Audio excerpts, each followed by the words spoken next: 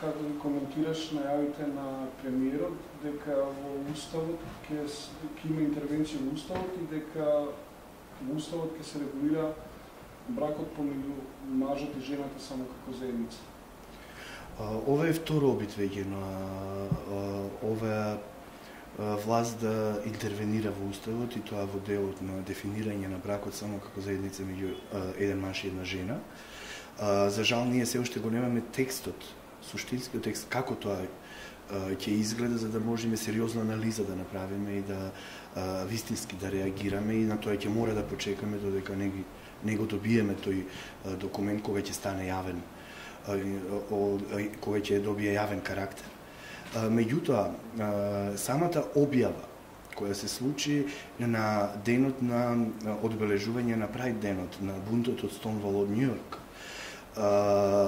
е порака која е директно насочена кон ЛГБТ заедницата во Македонија, порака која не носи надеж за прогрес и за развивање на македонското општество, туку напротив, порака која кажува дека ние се уште ќе одиме наназад и дека очигледно се уште не сме го допреле дното и дека тек ни предстои допирање на дното. Оно што е исто така э, зачудувачки е во да се э, бараат уставни измени во време на најголема политичка криза која ми се чини во современија во современата историја на Македонија ние доживуваме. Претходно не мислам дека сме имале ваква политичка э, криза. И токму тогаш да се бараат уставни измени е укажува на крајно авторитарна власт, укажува на на желба за целосна контрола врз сите процеси и врз животите на луѓето, на граѓаните на Република Македонија, што е застрашувачки и кое треба на вистина да на алармира сите. Дали сте размислувале од кога ќе го видите текстот, ако не сте задоволни, како би реагирали? А, ние а, сме а,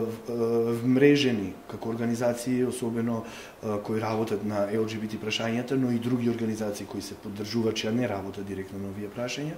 И а, верувам дека ќе изградиме заеднички став и ќе имаме заеднички акции. Оно што секако ние ќе го направиме е алармирање на меѓународната заедница,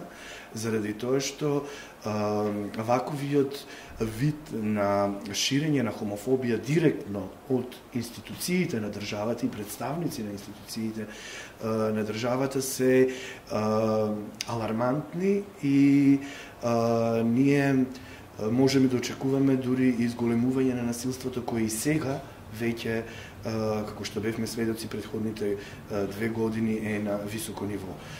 Ние ќе мора да реагираме, мора да побараме помош и ќе мора да се изврши поголем притисок за тоа што очигледно намерата е да се вратиме назад.